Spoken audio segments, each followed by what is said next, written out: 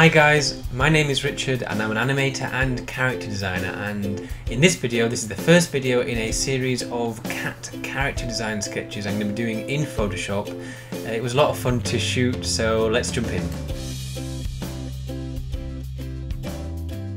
So here we are in Photoshop and um, like I say this is the first in a series of sketches I'll be doing, quick sketches in Photoshop, um, all about cats. It's a it's a really uh, fun series, and um, let me just uh, talk you through uh, what I'm doing here. Uh, now you can see that I'm actually quite far out uh, at the minute. There, there's some grid lines I just put on the screen there. That was that's the, the grid lines are really for me to um, remind myself that this is a 3D character in a 3D world, and so he wants to be. Um, I want to position him as such. So the grid there, just a quick perspective line, so that I can uh, um, sit, sit sit sit him in the in in 3D physical space um, convincingly. Uh, and the other thing that you'll notice right off the bat is I am I'm not zoomed I'm not gone into the details. The the tend, the thing that I often struggle with is um, going into the detail too quickly. The the success the, the success I find of you drawing is not in the detail. I always think of uh, I always think of drawings um, the success or the strength of a drawing in terms of um, uh, percentage of success or the percentage of strength of a drawing and the higher the percentage uh, the better the drawing in my head anyway. And I always say that the detail level there are certain blocks to creating uh, strong characters strong designs. Um, and adding details are really they, they don't add they're not uh, they only add a few percent to the success of a drawing. They they're not the the the uh, the major factor in a good drawing. Um, what what is one of the major factors in a good drawing, I find, is uh,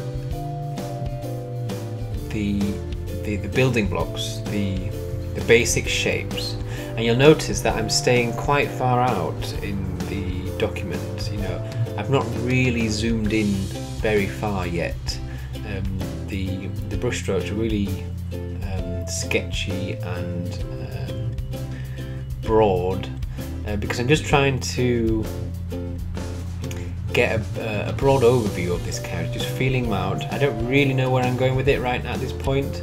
I'm just um, I've got some reference uh, I'm, I'm, looking at and I'm um, almost sculpting him uh, onto the page, but it's all, I'm just, there's, there's no detail yet. You see I've rubbed out that, um, the fur markings, and even the fur markings up on his, on his top there, they're, they're really just, um,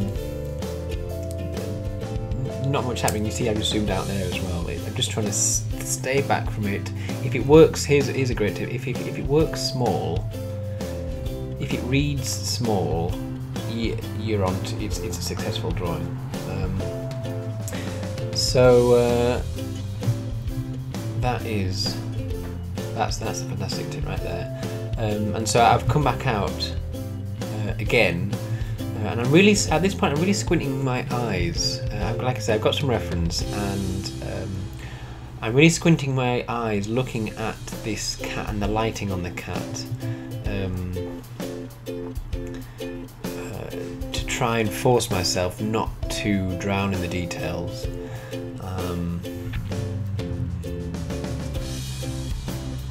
This point, I think I'm, I'm starting to feel much happier with the design, and I think I'm about to go in uh, and start adding a bit more detail to the patterning on his uh, on his forehead there.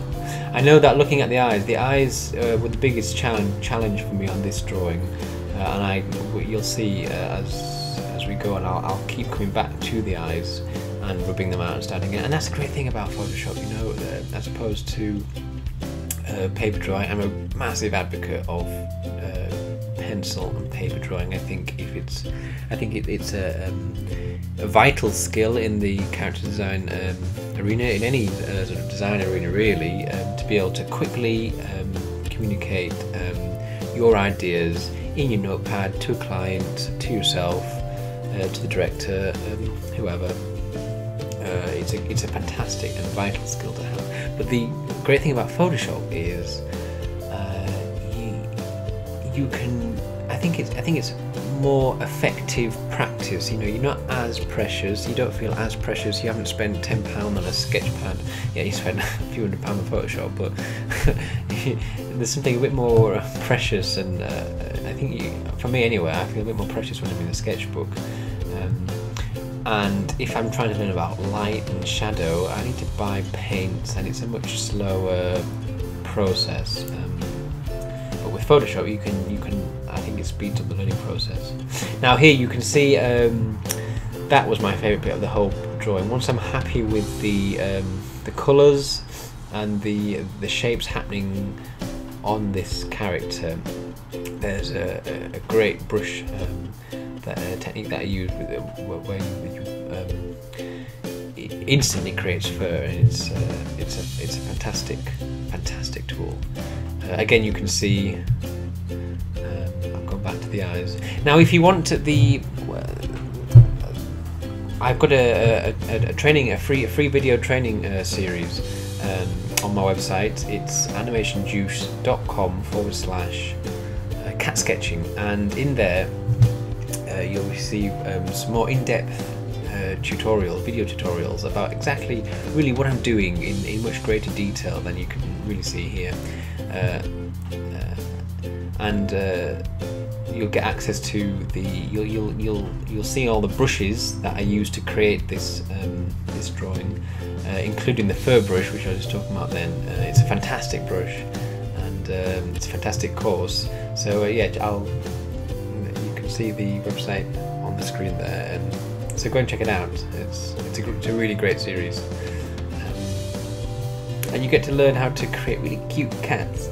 Uh, and I had such great fun doing this drawing. Um, I'm actually gonna finish the. I'm actually gonna do a series of twelve, I think, and uh, make a calendar out of them, give them to my auntie because uh, she loves cats, and Having such a great time drawing them.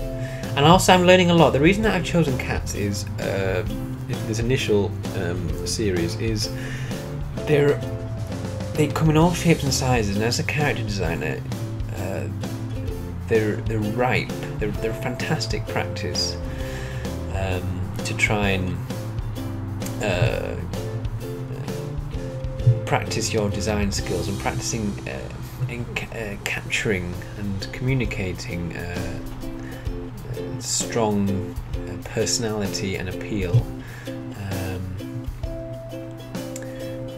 and uh, yeah, it's it's great fun.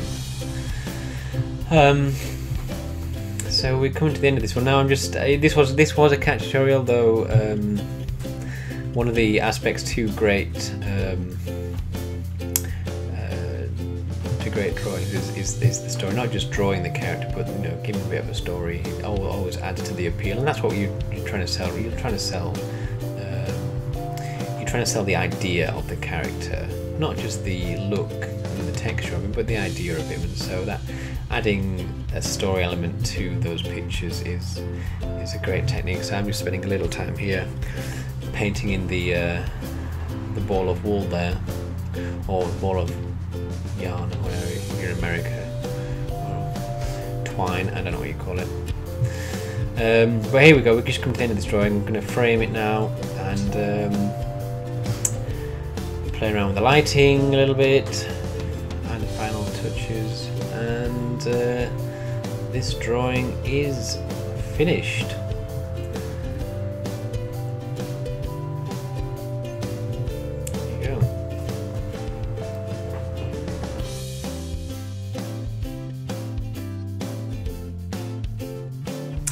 So I hope you liked the video. If you did like the video, make sure to subscribe below.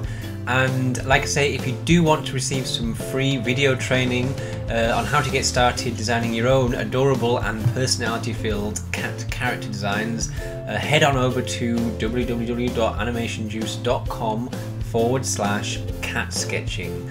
Uh, you can get started straight away. Um, that's it for this video. Thanks for watching. See you later.